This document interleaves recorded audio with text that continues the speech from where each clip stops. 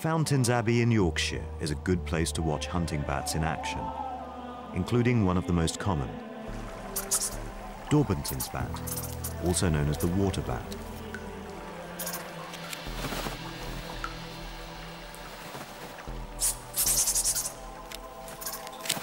Old stone bridges are a favorite roost.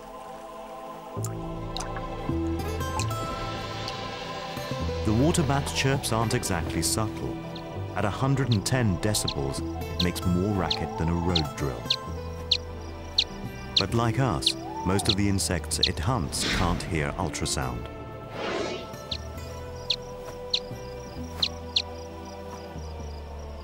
As the bat homes in, its squeaks speed up.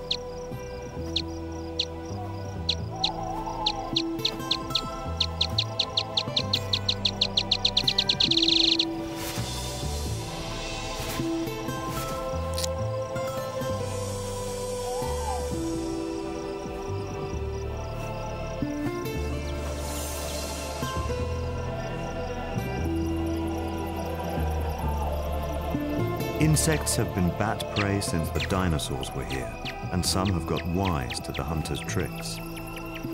This moth has ears tuned direct to bat frequency and lightning reactions to help it dodge attack.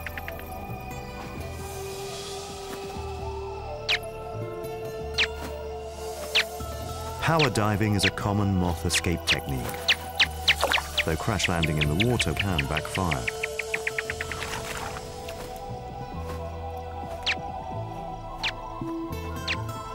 The Daubentons isn't called the water bat for nothing.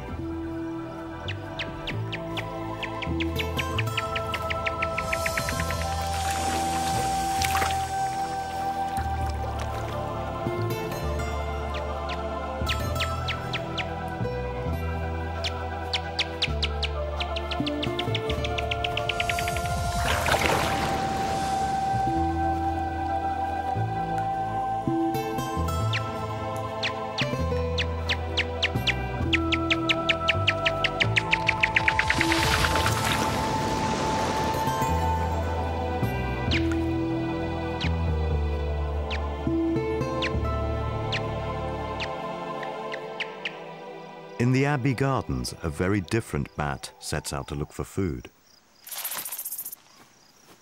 Brown long-eared bats use a different strategy from most bats. Instead of shouting, they whisper. This means they get fainter echoes back, so they need massive ears to compensate. A long-eared bat's ears are so sensitive, they can pick up wing vibrations from a moth perched on a leaf. Another bug bites the dust, dispatched by bat technology.